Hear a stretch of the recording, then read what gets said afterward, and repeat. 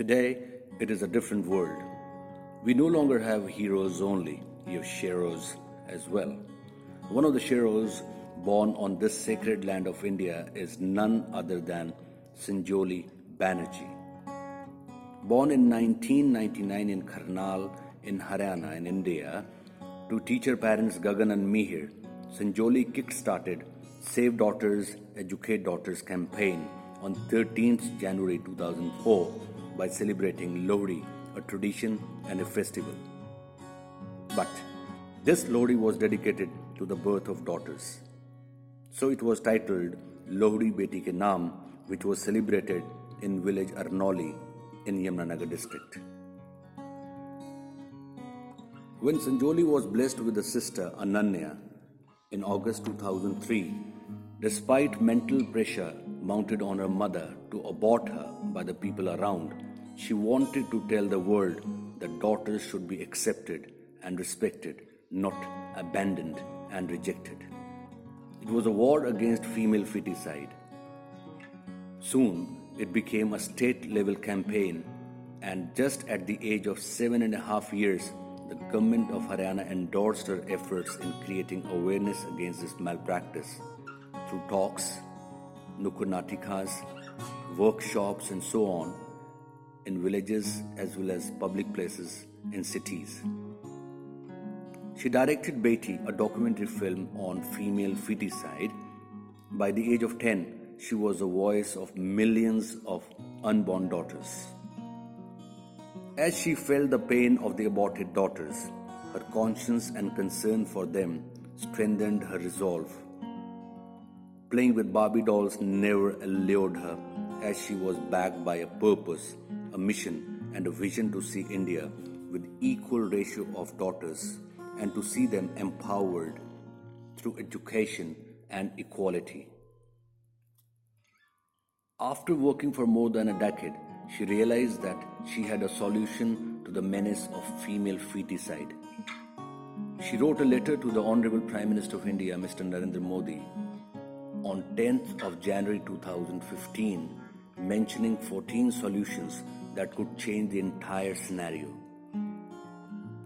She suggested compulsory sex determination, monitoring of the pregnancies, disbursement of healthy diet to the mother and the unborn, constitution of autonomous national commission for girl child and ban on the so-called sacred blessings dudo nahao puto palo. Sanjoli has been daring enough to stand against the criminals and the perpetrators of crime. She voiced publicly in Sweetie rape case. She protested against a top cop in Ruchika molestation case and in Nirbhaya rape case. She was one of the key protesters in Karnal. Her concern for climate change persuaded to direct another film, Earth in Flames, in 2009 at the age of 10 and a half. Accompanied by her parents, volunteers, and young social activist sister Ananya, she traveled across several states of India, covering a distance of more than 5,000 kilometers to spread the message Save Daughters, Save the Mother Earth. Tree plantation programs, awareness campaigns, and her leadership qualities won her accolades from the then Honorable Governor of Haryana, Mr. Jagannath Pahadia. She proudly talks about her film Beti that reached the hands of the former Prime Minister of India, Dr. Manmohan Singh. In academics, Sanjoli has proved that girls can do much better if liberated and empowered. She topped in Haryana, scoring 96.8% in 10 plus 2 humanities.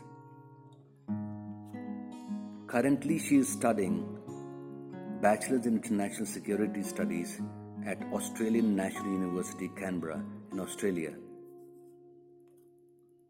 Even there in Australia, she brought laurels to her nation by becoming the Secretary of International Students Department, leading a team of 14,000 international students.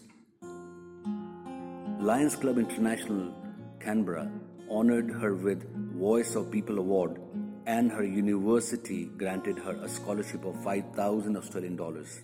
I am a second semester student at the ANU studying International Security Studies, and I'm running with the amazing team of ISD Bloom um, with the most innovative and talented team members.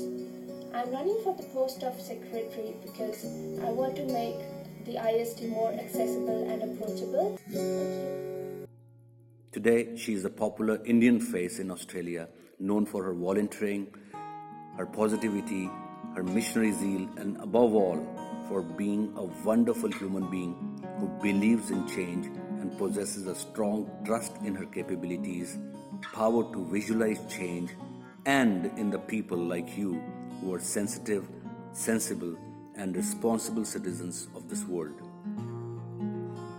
Recently, she has adopted a village in Karnal, which she wants to be a model village with 100% literacy, cleanliness, and she's striving to make it drug free. मुझे अपने देश के लिए कुछ करना है जब देश ने मुझे इतना कुछ दिया है तो मेरी भी कुछ ड्यूटी बनती है और हम आज की युवा पीढ़ी है और युवा पीढ़ी के ऊपर ये सारा बोझ है आ, कि भी हम देश की डेवलपमेंट में हाथ दें She loves to write articles and poems, and they have found space in national magazines and newspapers. Even NDTV and various news channels have propagated her voice from time to time. Her mission is to work in India at grassroots level and focus on mental health, lives of deprived ones, and education and equality and justice for women. Since the age of five, I've been working against uh, female feticide, which is a great social evil, uh, in India.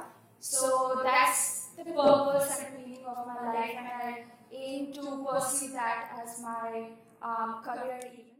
She aims at building the India of Tagore, where minds are without fear and heads are held high.